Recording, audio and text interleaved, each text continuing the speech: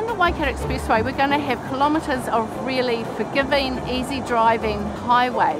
What can happen in that low demand sort of driving environment is often people can just nod off for a moment, go on autopilot, maybe drift out of their lane. The Transport Agency has taken safety as one of a primary concern in all our roads throughout the country.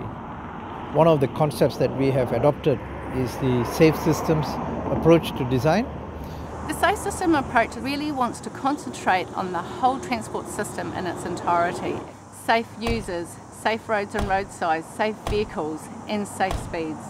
The Cambridge section is one of the first sections that has been completely designed to follow this approach.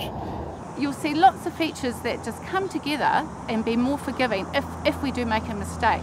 So you will see things like rumble strips that can just wake you up quickly, you'll have wide shoulders, easier to recover. The design of the expressway has also incorporated features such as uh, wire rope barriers.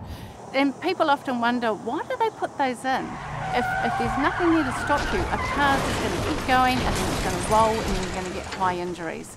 If you contain and redirect early, you might have to go to the panel beater to get some scratches fixed up in your car, but you don't need to go to the hospital. So these are ways in which we can avoid serious and fatal accidents and, and that's the focus actually is to bring that to zero.